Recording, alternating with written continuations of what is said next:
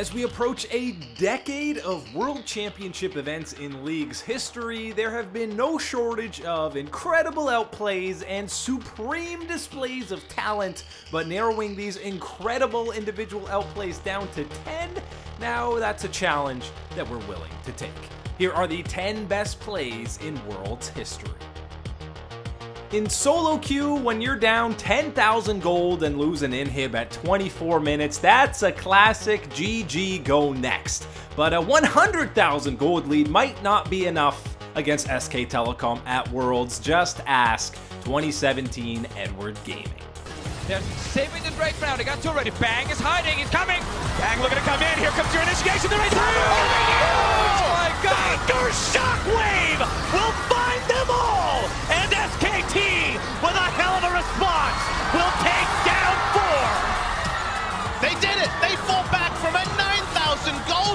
and won a team fight against all expectations. Rumble could not get the perfect equalizer because in half a second, everyone's health bar exploded.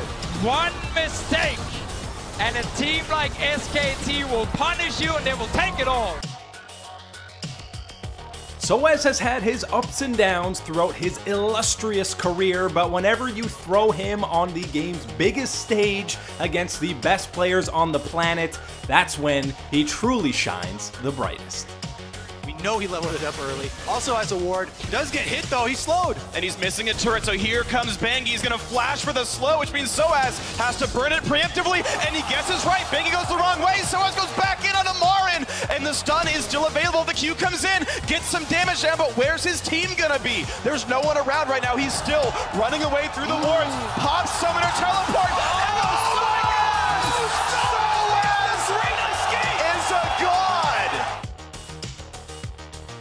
When you're indisputably the best in the world at something, every now and again you just feel the need to completely style on the competition to remind them. And that's exactly what Imp and Mata did to AHQ in 2014.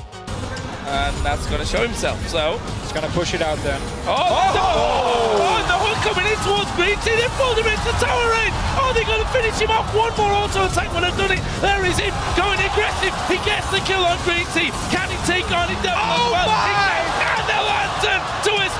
safety. Amazing.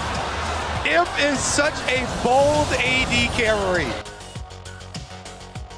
Smeb came into the 2016 World Championship as the number one ranked player in the world, and unfortunately for G2 Esports, they had to discover that fact the hard way. Oh, teleport's coming in.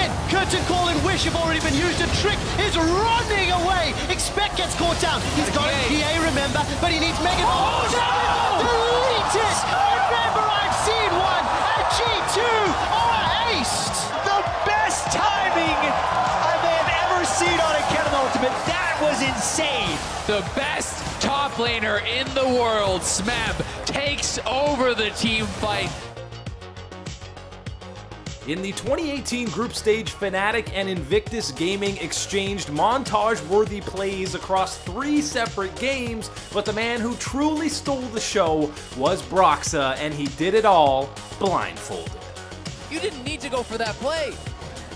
Well, they're gonna try for another one though, and this one Body Slam stops the Q. Here comes Baolan as well. 2v1 Broxah may have been out more than he can chew. The health bar's running down. The kick, the Q, the second! Get out. That was gorgeous! Once again, this fight by Broxah, incredible. And you can see it stops the damage of the second Q, but he goes aggressive. I think he surprises the IG jungler.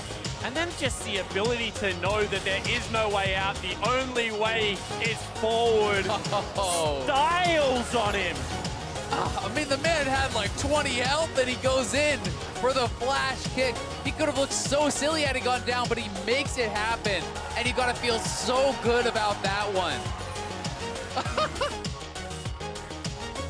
At the Season 1 World Championship Finals, Yellowstar fired one of the most iconic Ashe arrows in League's history. Five years later, Pray politely asked Yellowstar to hold his beer and proceeded to launch a cross-map game-winning arrow in the greatest series of all time.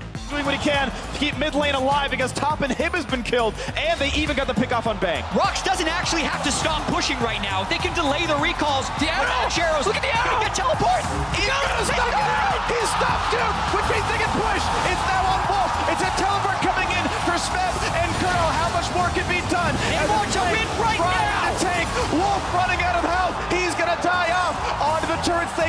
minions are gone, and it's too much. SKT are here to defend. This is a difficult 3v2. Pushing down Duke, down below a thousand. Oath back on towards Pray, push back yet again, but Smeb's running low. But they get it. In front of the Nexus. They're trying to burn it down. Is the stun gonna be enough?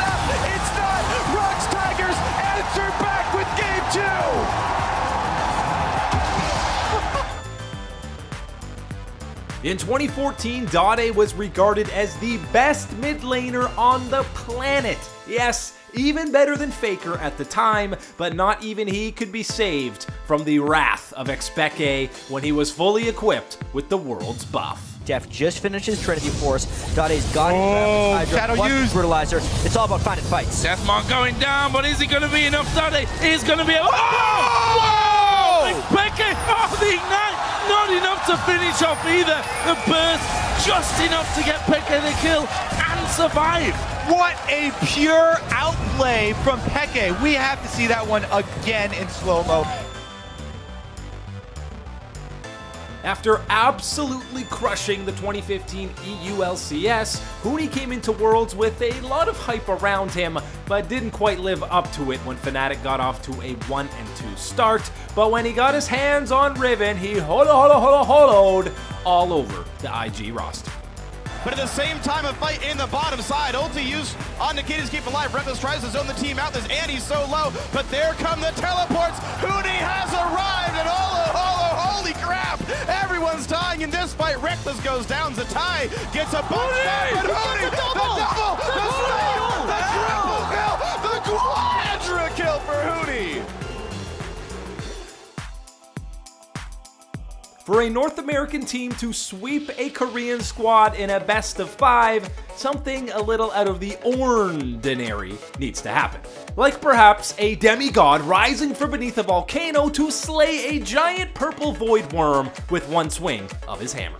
But it would be almost last case. They're gonna try, they're gonna dive into the pit, plenty of damage available, but will they even stop the Baron as the smite? Oh, he gets to kill the juggler! Who's gonna get it? Oh! You've gotta be kidding me! Licorice solo carrying this game! Your spring split North American LCS rookie of the split on Ornn comes in, takes the Baron and takes the jungler's life. What an incredible play! You know it's a pretty darn good series when you make up 20% of the list on the top 10 plays of all time. So thank you SKT and ROX Tigers. In a hopeless looking 2v4 scenario against the defending world champions, Peanut and Pray needed only say three words, we win those. The shutdown is there, and Gorilla's now just putting bullets into Duke. How much can they really get? Ooh, bullet time does a lot. It forces flash out, and now Pray is here. Exhaust is on. One kill picked up, and Faker gets it back onto Gorilla. Smeb running out of health and gets shut down as well. But Pray, does he find the targets? Peanut has Guardian Angel. Maybe he plays frontline. How much can they really get? Pray turns it back around. Looks for Bang, looks for it all. He's got one. What else can he get? It's going to be Blank in his sights. He's coming back. Baker's low. How much more can they get? The stun's coming in, and it's Duke with the big play. But the turnaround from Pray, turning it back in. The chase, the resonating strike, and the ace comes through for Peanut. These fights are And Pray in particular, time and time again.